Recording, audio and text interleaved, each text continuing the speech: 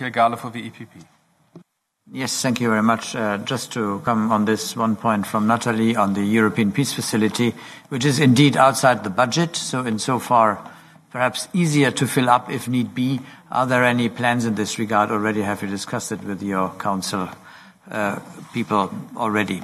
Um, on where you just came from, on the energy issues and, and, and the Gulf, indeed, I think uh, it is urgent for us to, to uh, conclude um, um, long-term uh, agreements with these countries.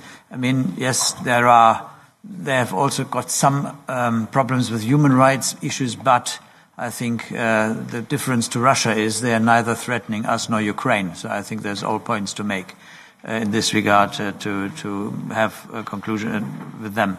JCPOA, how is your assessment?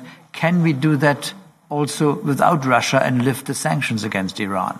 Isn't that uh, if on the substance the agreement is there, if we were there, uh, and if is Russia really in a position to block it, or could we not and should we not conclude it with Iran and uh, see to it that they have to gain much more if we lift the sanctions and they can sell oil and gas to us than what Russia could offer them. Is that the perception?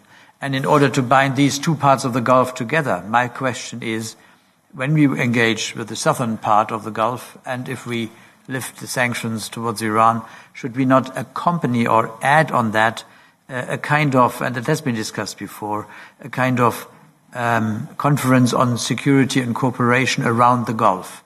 Should that not be an ambition from our side to, so to say, as we interact with all around, with Iran, with the Gulf states on the southern side, uh, that we would engage in this regard in order to overcome these potential tensions there between Saudi Arabia and Iran for the better of their region and uh, of the uh, in the cooperation with us. Thank you. Thank you.